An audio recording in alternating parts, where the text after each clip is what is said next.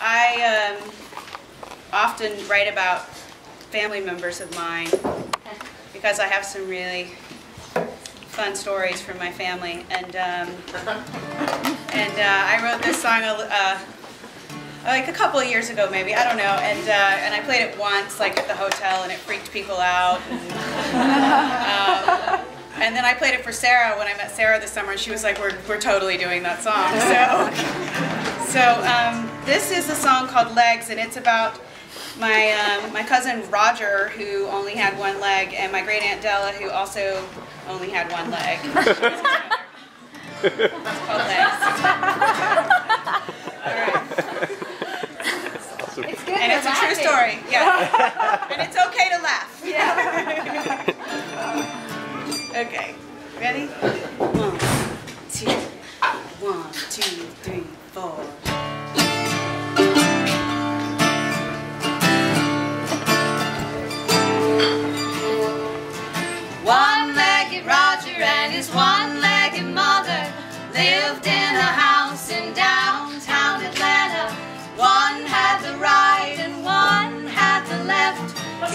They were happy as a two-legged man.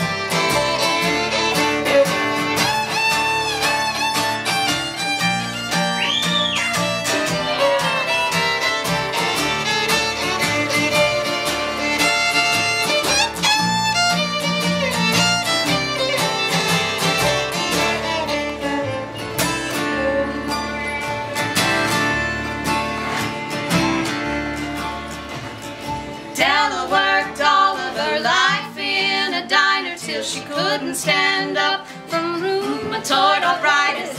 If not for the diabetic shock that she suffered from, she'd still be a knock-knee dancing queen. Finally, they had to take the second one off. She was just a little body in a nursing home. She didn't seem to mind because the one she had reminded her the night she left her Roger at the county morgue. Roger loved his gin.